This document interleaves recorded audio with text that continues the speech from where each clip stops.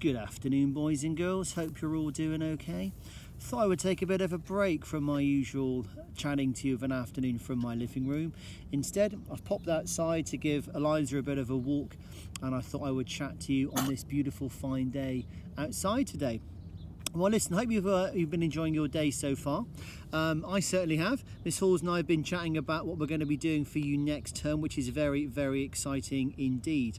Now, first and foremost, I need to give a bit of a shout out to Charlie in 5B. Sadly, I forgot to mention Charlie yesterday for all the kids who are working really, really hard at this time. So, Charlie, well done. I'm really impressed with your reading. Uh, you are coming on really well with Epic. You're reading lots, and uh, the work you're doing for me is very impressive. Thank you, and sorry for not mentioning your name uh, yesterday as are many of you in 5B. We're still a little bit behind what 5A are doing with their epics, and I think we could be doing a little bit more, maybe. What do you think?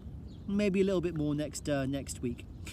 Writing today has been really good. I've been very interested at looking at your notes, um, information for planning on non-chronological reports on cheetahs, on peregrine falcons, on brumbies, on tigers, uh, wildcats, and also the Titanic as well. So I'm pretty sure your reports are going to be amazing when we start reading them uh, tomorrow. That's great to see.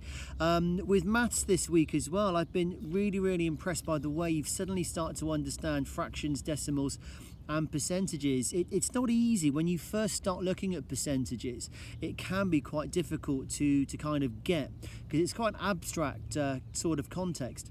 But if you start to say to yourself that a fraction, a decimal, and a percentage is just another way basically of saying the same thing, then your brain suddenly starts to realize that you can say something is a half of something, which is the same as 50%, which is the same as um, 0.5 of something. It's just sometimes you use uh, different ways uh, of, of doing it in different sort of contexts.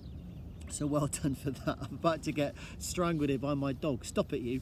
Um, now, Tomorrow, we're going to be planning something pretty exciting for you, and we're looking forward to seeing your faces. Now, yesterday I said what I wanted you to do was to go on to zoom.us and download the app for whichever device you're currently using right now. So that's zoom.us, it's a free app.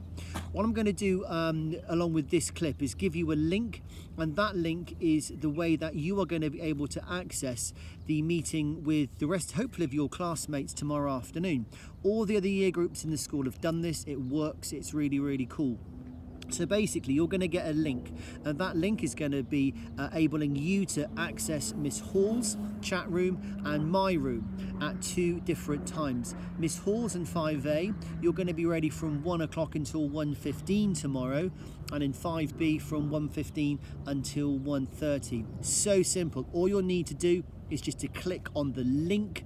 It's just a, a quick hyperlink uh, with your downloaded device and then you'll be able to go on and say hi to your classmates. We've not quite worked out what it is we're going to do and say yet, but uh, we'll work that one out tomorrow. It'll be lovely to see all of your faces again. Yes, including you. It'll be nice to see your face again as well. Um, be lovely to see everybody tomorrow um, afternoon. Now we're almost at the end of this uh, term now and let's face it, it's been one of the most oddest terms I think most of us have probably had in our lives. We've not seen much of each other, we've been learning in a very very different way in a different sort of context but do you not think it's made you far more resilient?